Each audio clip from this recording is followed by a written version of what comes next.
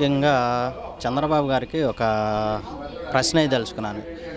అయ్యా చంద్రబాబు గారు మీరు నలభై ఏళ్ళ ఇండస్ట్రీ అంటున్నారు పదిహేను సంవత్సరాలు సీఎం అంటున్నారు.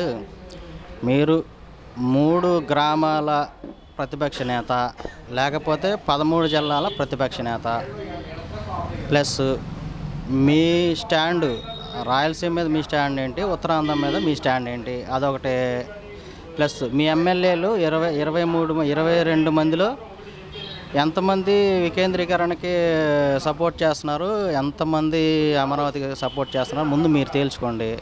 ఏమీ తేల్చుకోకుండా మీరు ఒక్క భూముల కోసం మీ యొక్క బినామీల కోసం మీరు అక్కడ ధర్నాలు చేయటం ఎవరెవరినో బయట ఒక వేరే ఊరు వాళ్ళని తెచ్చి రైతుల ముసుగుల్లో చేయటం ఇవన్నీ చాలా దారుణం.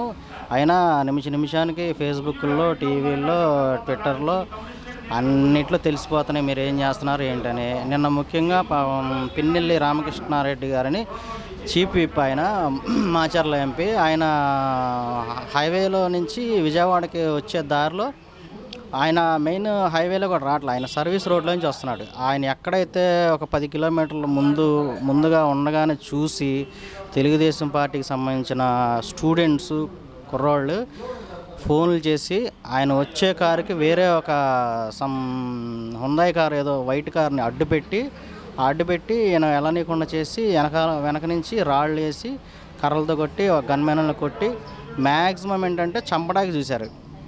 ఈ ఈ ఇన్సిడెంట్ జరిగిన అరగంట గంటకి మళ్ళీ కైలా అనిల్ గారిని పామర్ ఎమ్మెల్యే గారిని కూడా సేమ్ అదే కరకట్ట మీద ఆపేసి ఆయన కారును కూడా ధ్వంసం చేయడానికి ఆయన ఏదో చేయడానికి చూశారు. అయ్యా చంద్రబాబు గారు మీరు ఆల్రెడీ చాలా చేశారు. రంగా గారిని చంపించారు. రాజశేఖర్ రెడ్డి గారి మీద కూడా మీకు మీ మీద అభియోగాలు ఉన్నాయి. ఇవన్నీ చాలా రక్త చరిత్ర ఉంది మీకు. ఇప్పుడు ఊరికే తెలిసిపోతుంది. అంటే అప్పట్లో అంటే టీవీలు లేవు కాబట్టి తెలియలేదు. ఇప్పుడు బాగా తెలిసిపోతుంది. చంద్రబాబు గారు కూడా ముందు జాగ్రత్తగా ఉండాలి.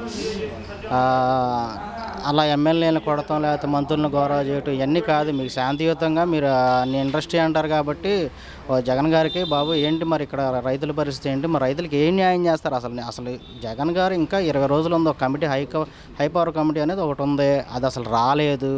మూడు రాజధానులు ఉండొచ్చు అన్నాడు. ఆయన ఇంకా అది డిక్లేర్ అవ్వలేదు. అయినా రాజధానిలో అసలు శ్రీకృష్ణ కమిటీ చాలా బోస్టన్ కమిటీలు అన్నీ చెప్పినాయి. ఐదు కిలోమీటర్ల వరకు ఏమీ కట్టకూడదని నువ్వు ఐదు ఐదు వేల కోట్లు పెట్టావు. బూడిద బూడిదలో పోసిన పన్నీర్ అయిపోయింది.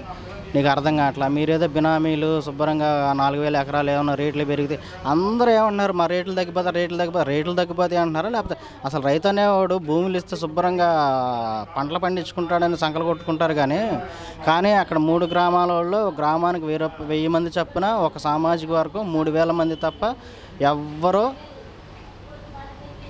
అమరావతికి అనుకూలంగా లేరు. నిన్న ధర్నాల్లో పాల్గొన్నది కూడా JAC college JKC college Guntur అవన్నీ తెలుసు అందరికీ. ఫేస్బుక్లో గన్మెన్లని దాడి చేసిన వాళ్ళందరూ గుర్తించారు. అవన్నీ చట్టపరంగా చట్ట ప్రకారం న్యాయం జరిగిద్ది శిక్షలు పడతాయి. కానీ చంద్రబాబు గారు మీరు ఒక్క ఒక్క విషయం ఒక చిన్న లాజిక్ మర్చిపోతున్నారు. మీరు మూడు గ్రామాల కోసం చూసుకుంటుంటే ఈ పదమూడు జిల్లాలు మీరు కనుమరుగైపోతారు. అదొకటి గుర్తుపెట్టుకోండి. రేపు ఉత్తరాంధ్ర వెళ్ళి ఓట్లు ఎలా అడుగుతారు? కర్నూలు వెళ్ళి ఓట్లు ఎలా అడుగుతారు? అదొక్కటి గుర్తుపెట్టుకోండి. మీరు చిన్న లాజిక్ మర్చిపోతున్నారు. మీరు ఈ forty years forty years industry అసలు అర్థం కావట్లేదు మీకు. ఏంటో మీరు ఈ మధ్యకాలంలో మన అదే కమిటీ నివేదిక చదివిన మన దళిత ఐఏఎస్ విజయ్ కుమార్ గారిని విజయ్ కుమార్ గారు మనకు చెప్పేవాడు అంటే ఇప్పటివరకు నువ్వు పరిపాలించిన పరిపాలనలో అందరూ ఐఏఎస్లు ఐపీఎస్లో చాలామంది దళితులు ఉన్నారు. నువ్వు ఈరోజు నేను పదహారు పద్నాలుగు సంవత్సరాలు పదిహేను సంవత్సరాలు అన్న దానిలో అందరూ ఐఏఎస్లు దళితులు కూడా ఉన్నారు.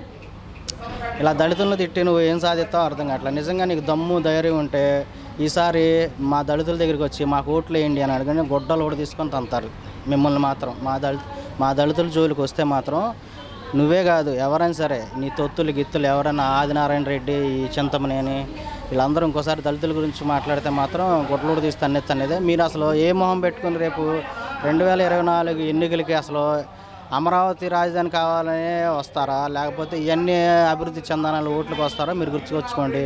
ఈ ఇరవై రెండు సీట్లు ఈసారి మీకు ఖచ్చితంగా రెండు సీట్లు రెండు కూడా రావు. అసలు నిన్ను కుప్పంలోనే ఓడిస్తాకి చాలా కుప్పంలో చాలా ప్రయత్నాలు జరుగుతున్నాయి.